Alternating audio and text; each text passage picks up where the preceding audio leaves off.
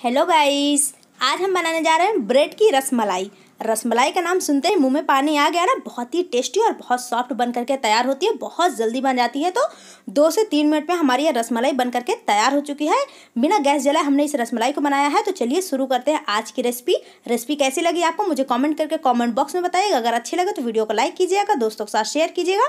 तो चलिए शुरू करते हैं।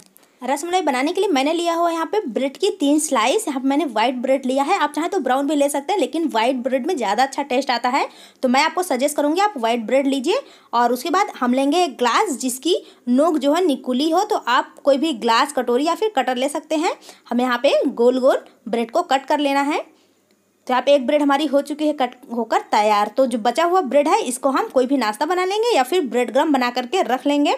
इसे हम साइड में रखेंगे, इसी प्रोसेस से बाकी ब्रेड को कट करके तैयार करेंगे। बहुत ही जल्दी कट जाती है बिल्कुल भी समय नहीं लगता है हमें इसे कट करने में। तो यहाँ पर मेरी ब्रेड जो है, हो गई है कट करके तैयार। अब हम चलेंगे नेक्स्ट स्टेप पर तो इसके लिए मैंने लिया हुआ है यहाँ पे मलाई। अब भाई रसमलाई बना रहे हैं तो मलाई लेना तो बहुत ज़रूरी है। तो मैंने यहाँ पे मलाई ले लिया है और अब हम इसमें ऐड करेंगे एक चम्मच चीनी का पाउडर चीनी का पाउडर मैंने इसलिए लिया हुआ है, क्या है कि जल्दी से मिक्स हो जाएगा हमारी मलाई में चीनी का पाउडर इसी साथ ऐड कर देंगे एक चौथाई चम्मच इलायची पाउडर इससे हमारी रसमलाई की महक बहुत ही अच्छी आएगी, बहुत अच्छी खुशबू आ जाएगी। तो सभी चीज़ों को हम अच्छे से मिक्स कर लेंगे।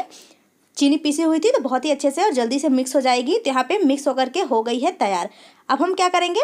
अब हम लेंगे ब्रेड जो हमने कट करके रखा हुआ था। तो यहाँ पे एक ब्रेड को उठाएँगे और उसके ऊपर एक चम्मच मलाई हम फैला देंगे। मलाई हमने अच्छे से फैला दिया, एक प्लेट लेंगे और जिधर हमने मलाई रखा फैलाया हुआ था, उसको पलट करके और फिर दूसरी तरफ़ भी हम मलाई को अच्छे से ब्रेड पे फैला देंगे।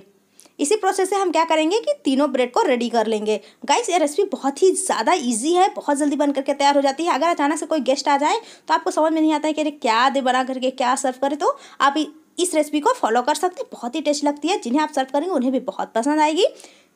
तो यहाँ पे मैंने तीनों, जो है ब्रेड को अच्छे से कर लिया है इसी तरीके से। बहुत जल्दी बन गया है। आप जैसा कि देख पा रहे होंगे, आपने पूरा वीडियो देखेंगे तो आपको पता ही चल जाएगा क्या हाँ कितना जल्दी बन गया है और कितना टेस्टी है। तो आप इस तरीके से एक बार बना करके ज़रूर ट्राई कीजिएगा। यहाँ पे हमारी इतना रेडी हो चुका है। अब हम क्या करेंगे, इसके ऊपर रखेंगे थोड़ा सा ड्राई फ्रूट्स तो मैंने लिया है काजू, बादाम और पिस्ता। तीनों चीज़ों को मैंने बारीक बारीक चॉप कर लिया है। तो थोड़ा थोड़ा सा हम बीच में रख देंगे, जिससे क्या होगा कि गार्निश भी हो जाएगा और जो है टेस्ट भी हल्का सा चेंज हो जाएगा, बहुत ही अच्छा टेस्ट आएगा।